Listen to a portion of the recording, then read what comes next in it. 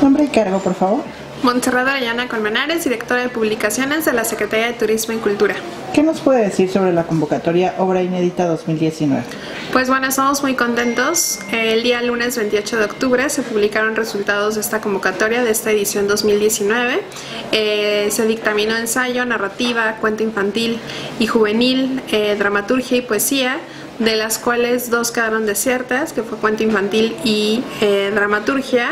Y en el caso de las demás categorías, pues bueno, eh, salieron ganadoras escritoras morelenses, que además nos da mucho gusto porque son escritoras que también han sido reconocidas en otros premios literarios y en otros estados e incluso a nivel internacional.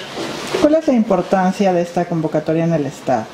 Pues mira, eh, la relevancia y pertinencia de tener una convocatoria que justamente pueda pues abrir nuevos caminos a los escritores morelenses que encuentran espacios, que encuentran un eco literario, es importante para nosotros porque finalmente eh, también eh, es parte de cómo ellos van trazando su trayectoria en el tema de la literatura, en el tema de la historia y de la cultura en el Estado. Entonces, generar este tipo de, iniciativas, este tipo de, de pues bueno, alienta también a nuevas generaciones a que vean que desde la escritura creativa, desde la literatura, pues hay un camino que hacer y que también puede trascender, eh, no nada más a nivel local, sino también a nivel nacional.